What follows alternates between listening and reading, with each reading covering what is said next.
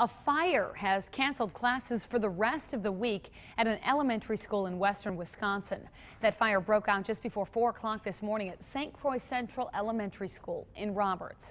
Now, there were questions over whether the students would have class again this school year.